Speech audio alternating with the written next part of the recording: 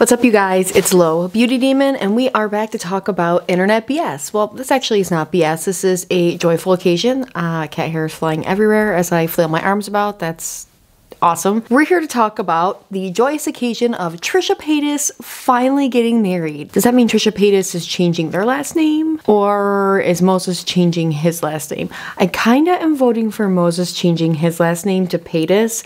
Moses Paytas has kind of some ring to it, you know? But before we get into that, please, if you have not already, don't forget to like and subscribe and hit the bell icon so you get a notification every time I post. And please don't send anybody that we talk about in this any hate, negativity, and nothing like that.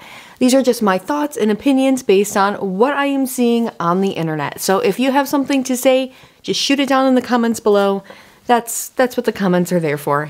With that, I actually have not made a Trisha Paytas video in a minute. Now, actually, if you look at my channel, it probably doesn't look like it hasn't been that long, but I have filmed, or pre-filmed rather, a lot of content that's going to be coming up in the next coming weeks, so you'll get to see all that fun stuff.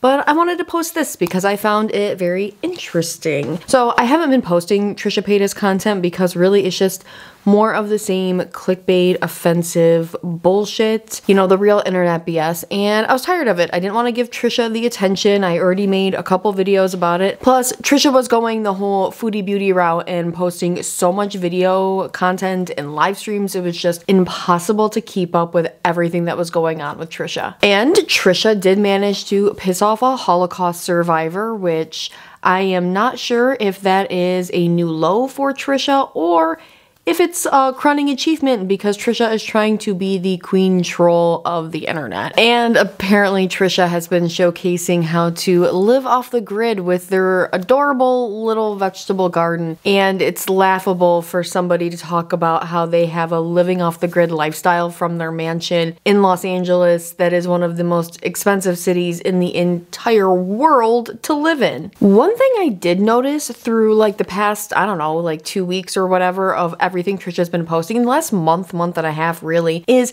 there hasn't been a lot of wedding content. Trisha has, you know, done a couple videos of like taste tests and things like that here and there. But, you know, I expected a lot more wedding content, but instead we were just stuck with Trisha Trolls nonstop across all of their channels. But wedding content is huge. And I feel like Trisha would have gotten like double or triple the amount of views that they were getting on their channel just by leaning into the wedding content. Even people who are not necessarily fans of Trisha might just tune in to see the wedding planning process. We could totally make the argument of, you know, this is a very personal and private moment for Trisha. Trisha doesn't have to share everything with the internet. This is something that Trisha really cares about and holds near and dear to their heart. And I totally understand and respect that. But what that also says to me is all the other stuff that Trisha's been posting and trolling about religion, veganism, mental health, and mental illness. Trisha doesn't care about those things because Trisha continues to post and exploit content about it. But with the wedding, it's too personal and important. Don't want to overshare on that. All that aside, Trisha and Moses got married on Saturday, December 11th. We did get some sneak peeks of the rehearsal dinner, which was on Friday. Trisha wore a very nice white Fashion Nova dress. I thought it was very cute. It looked very flattering on them. Their hair and their makeup look cute, but they have a really good hair and makeup team, so I'm not surprised on that. But some people were reading Trisha for wearing a Fashion Nova dress because Trisha has said in countless videos and things that they are all about luxury and custom fits for this wedding.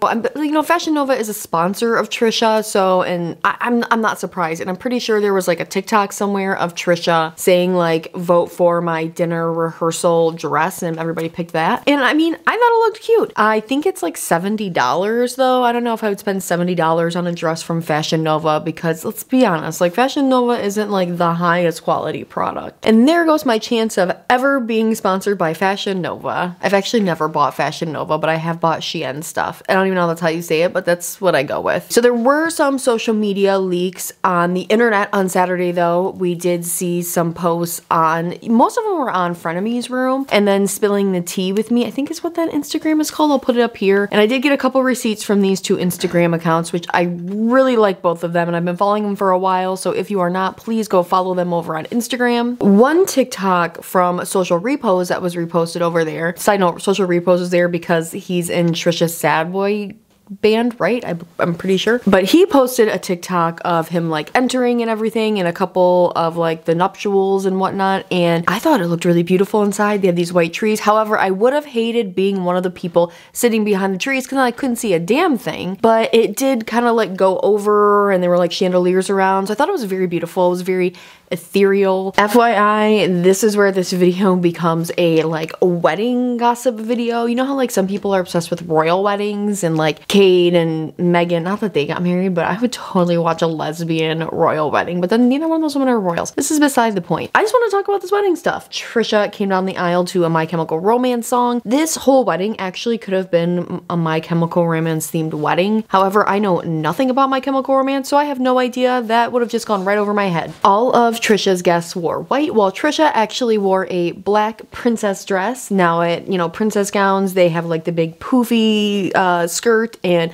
it looked like all of her dress was made out of like sparkly crinoline, so like very ethereal. I felt like it matched the whole ethereal feel of the wedding and is a nice contrast. Now, I was not a fan of the bodice of the dress. Personally, I understand it definitely made them look thinner, but I don't really like a full nude illusion. I guess I guess personally, I just like a bodice that is a full bodice. Not that it has to have straps or anything on it, but I don't know. It just was a personal preference. Overall, though, the dress was gorgeous. Trisha's veil was beautiful as well. And Trisha actually had a second dress that they wore at the reception. It was a shorter, more like a party dress, white lace with a big black applique over the breast, and then removable big black bow. I say it had to be removable because Trisha was wearing it in the dance with her dad, but then in other pictures, you could see that it wasn't on there. Shoes were really cute too, so that dress also adorable. Yeah, I really like the off the shoulder and the sweetheart neckline and that. I think that was a sweetheart neckline. Trisha looked really good. Trisha looked beautiful on their wedding day. And Moses, you know, Moses looked like Moses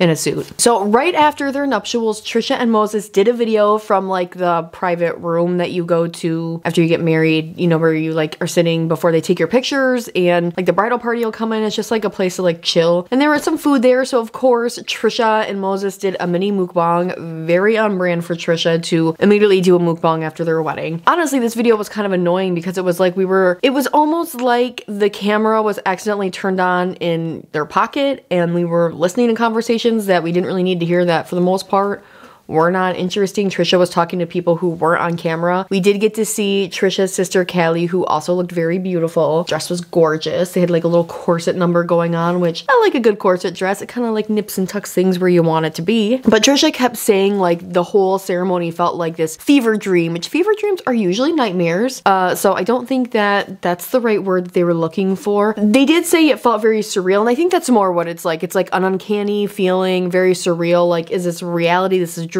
And Trisha does also say it went so fast, which is what a lot of people say about their wedding ceremony. It goes by really quick, and if you don't take it all in, you will totally miss everything. I totally get where Trisha's coming from with that. One thing that was interesting in this post wedding mukbang video is Moses started telling a story of how his shirt actually didn't fit and how he had to go and get another shirt, but the valet almost didn't let him leave because the valet said they were under strict instructions from Trisha to not let Moses leave. So the valet almost didn't let Moses go get uh, a shirt. Wait a minute, I don't have a shirt. Damn. I ran down. My brother too, right? Oh, so the guy, the guy didn't want to give me the car.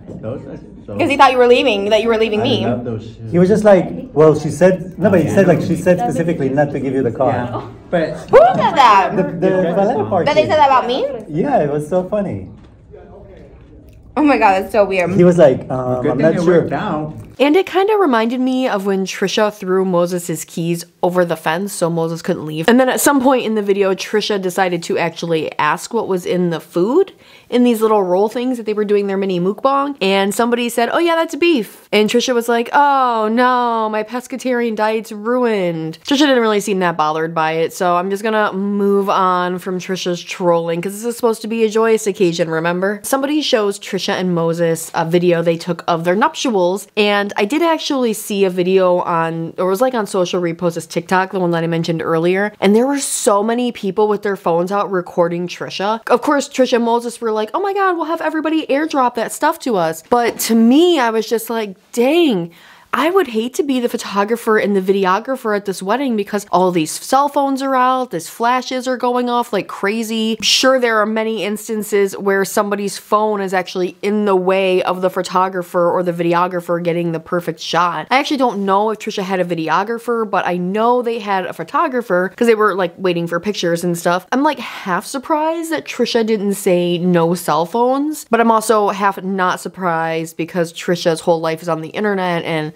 their celebrity and everything is from there. So it would be, it wouldn't exactly be on brand for Trisha to say no cell phones, but at the same time, I would understand it in this wedding situation. Not even so much for privacy, but just for like the fact that they probably paid thousands of dollars for these photographers. And then at the end of the video, a coordinator for wherever they are popped their head in and said, hey, you know, it's time. Time for what? Not really sure because Moses and Trisha immediately cut off the video. They didn't even say bye to us. I told you, it really felt like we had just been turned on in their pocket and they whisked off to whatever. So I, I hope they have a really happy marriage though. I think they are perfect for each other. I was actually curious though if Dakota Paytas ended up at the wedding. Now, Dakota was the crazy super fan of Trisha Paytas that was invited and then uninvited to the wedding. And as last I knew, uh, Dakota planned on still going. Dakota had already purchased a ticket to LA, so they were like, yeah, I'm still going. And on TikTok, Dakota had posted a video or TikTok rather, whatever, of them getting on a plane and flying to somewhere. So I was assuming it was Los Angeles. And then they posted another TikTok of themselves getting in disguise